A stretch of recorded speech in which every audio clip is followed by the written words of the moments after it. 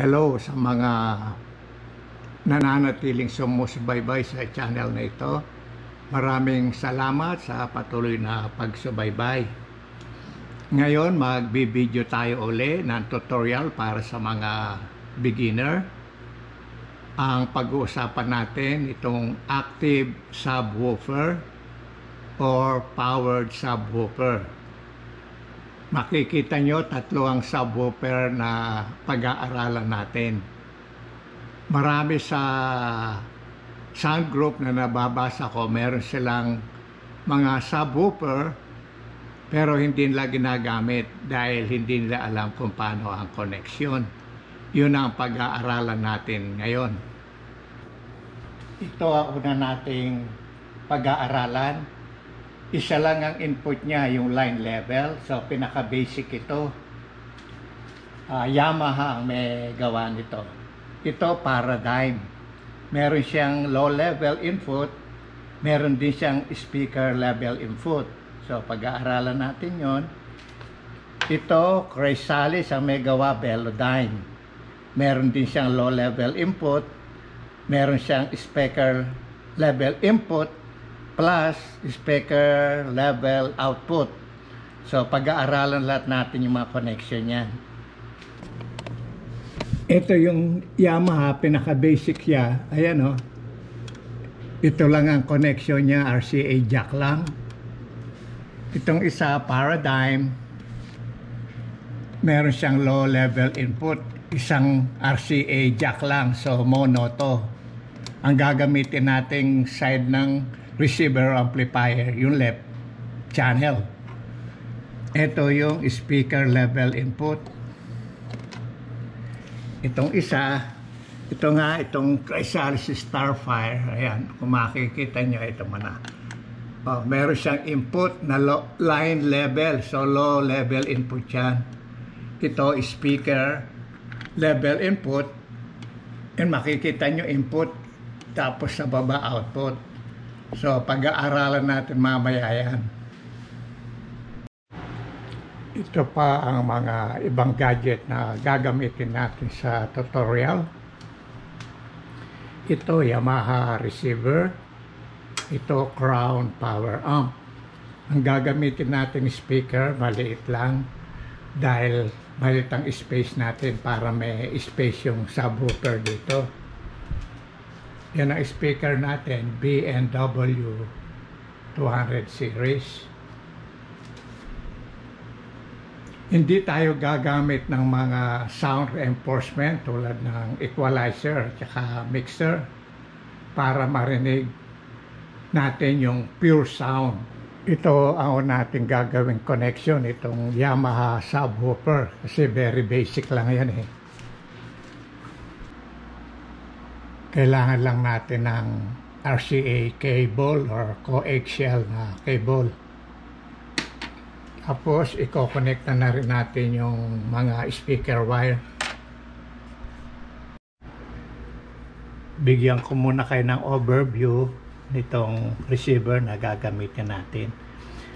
Ito nga hanapin nyo sa jack subwoofer out. Kung bisa nakalagay, pre-out lang or nakalagay sub out.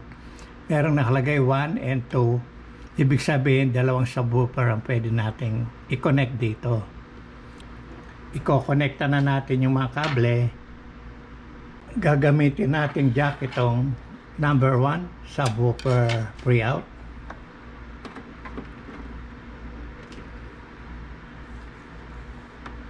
Itong kabilang dulo sa subwoofer pwede nyo i-connect to sa left channel para mono siya. Ito nakasulat left mono. Pero ako meron akong splitter. Yan o oh. kaya pwede kong gawin yung left and right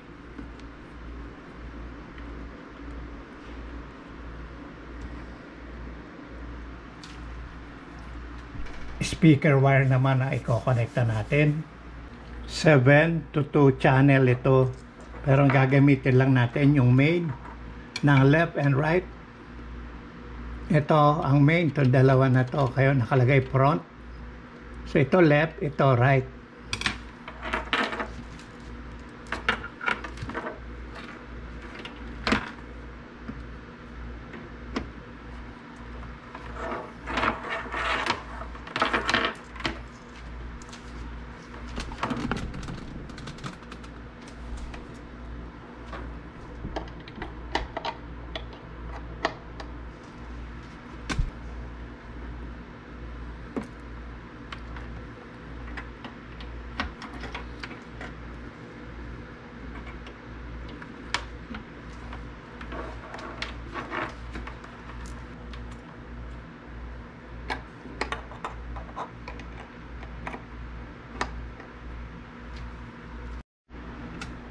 Itong source ng music natin ang gagamitin ko itong audio video 5 para analog.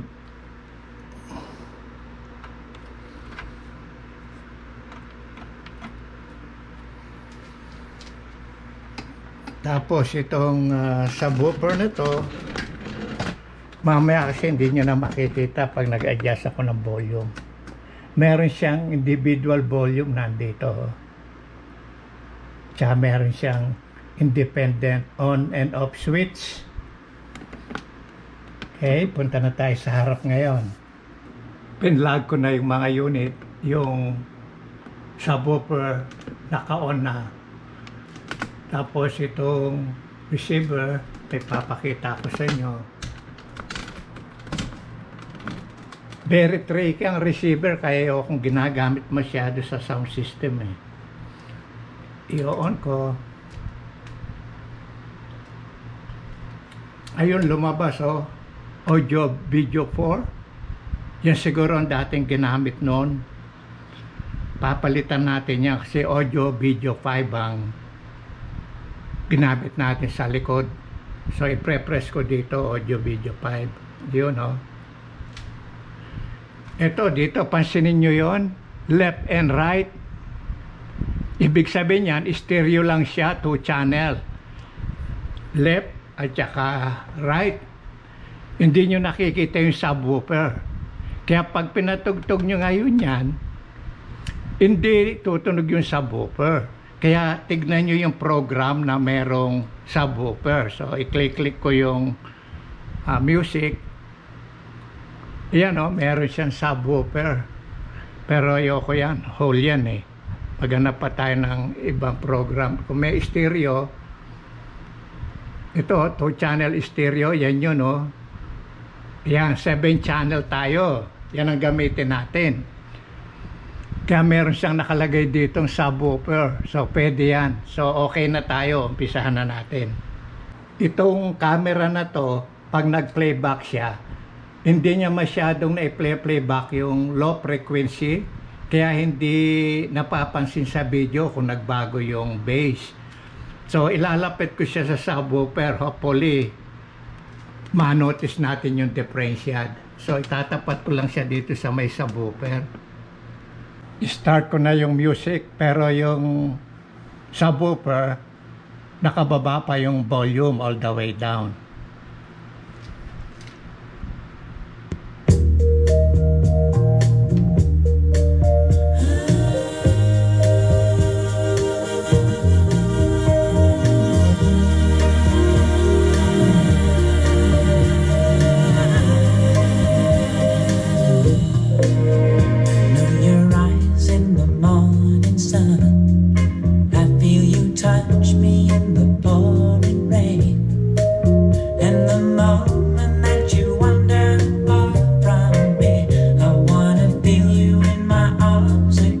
Lalagyan ko na ng bass ng subwoofer.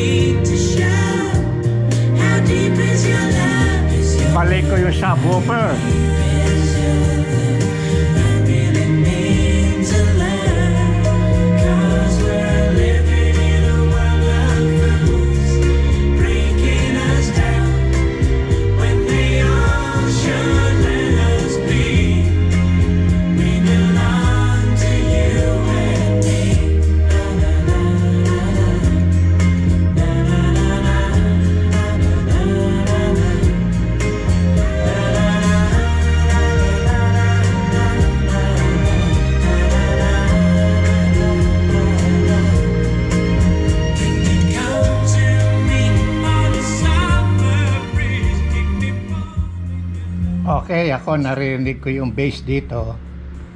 So, tama yung connection natin. Siya nga pala, pag napansin yung mahina ang labas ng bass sa subwoofer, tignan nyo yung setting ng receiver ninyo. Baka mababa ang setting yung nung gain level niya. I-adjust nyo na lang doon kung nasa mababa siya. Paano nga pala kung ang amplifier nyo is uh, power amp na tulad nito, wala siyang sub-out or pre-out na jack. Tapos ang subwoofer nyo yung low level input lang, walang speaker level input. Pwede kayong maglagay ng gadget in between. Ang pinaka magandang option sa palagay ko, mixer. So pakikita ko paano mag-connect ng mixer para magamit yung subwoofer.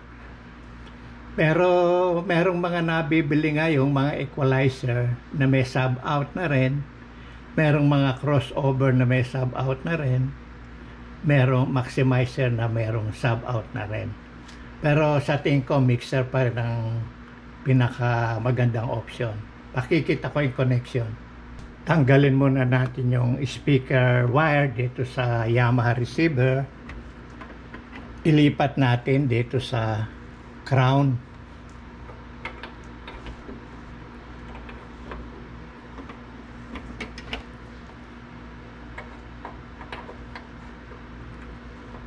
Tapos yung source ng music, ito yun, oh. So, irrelevant na to, pero tatanggalin ko na rin. Itong sub-out, irrelevant na rin to, tanggalin natin. So, kailangan ilagay natin ngayon yung music source sa input nito. Punta muna tayo dito sa mixer. Ito ang gagamitin nating mixer. Ang gagamitin nating music input, itong line in 3 and 4 na magagaling sa cellphone. So ito yon ang, ang control niya. So ilalagay natin ngayon itong galing sa cellphone mag-iiba na ngayon yung kable natin kasi 1- 140 RS na to eh. Oh.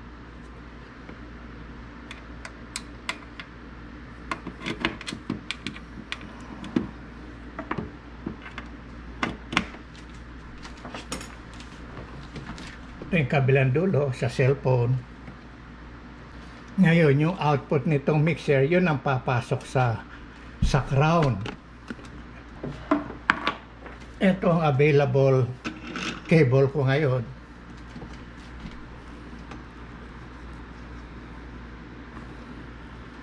Ito merong RCA jack yung crown amplifier eh, kaya pwede to. So ilalagay muna natin dito sa main out ng mixer. Kita niyo yung main out. Ito. Right at saka left. So main out. Yung kabilang dulo sa input ng amplifier.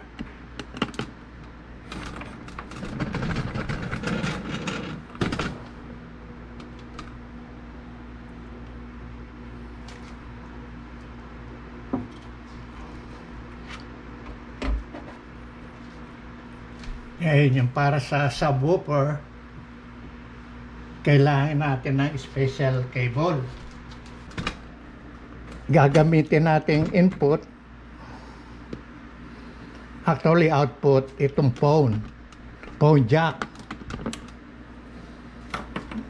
Kita ko sa inyo. Ito, ito, phone, nakalagay phone jack. So, nag-iisa lang yan, ito. So, ilalagay ko na.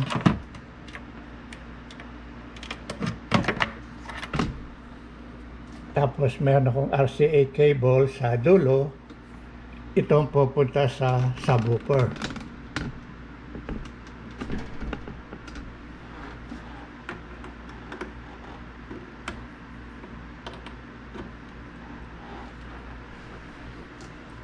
ang magiging control volume natin ngayon sa subwoofer itong phone volume control ng mixer ito. Ayan, as- nakikita nyo, phone control rope. So, gagalawin natin to mamaya para magkaroon ng bass. At the same time, tataasan din natin yung volume ng subwoofer mismo. Ito. Yan. Iikot ko yan mamaya. Tataas ko. Actually, lagay ko na lang sa 12 muna. So, nakaset na yan. O, kanina pala, sinabi ko hindi tayo gagamit ng mixer para marinig natin yung pure sound. So, kaya ang ginawa ko ngayon, itong mga equalizer, lahat linagay ko lang sa flat para pure sound din ang maririnig natin. Ayan ang equalizer. Nasa 12 o'clock lahat sila. Nasa flat. Okay, pwede natin patanugin. Tignan natin kung magwa-work yung subwoofer. Naka-on na lahat yung mga gadget.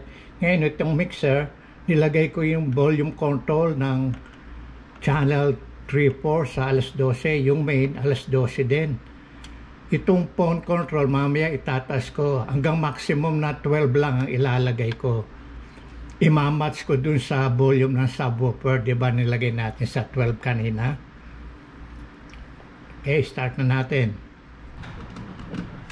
Ilalapit ko ulit sa subwoofer itong camera natin para ma-pick up yung bass niya. Start ko na, music.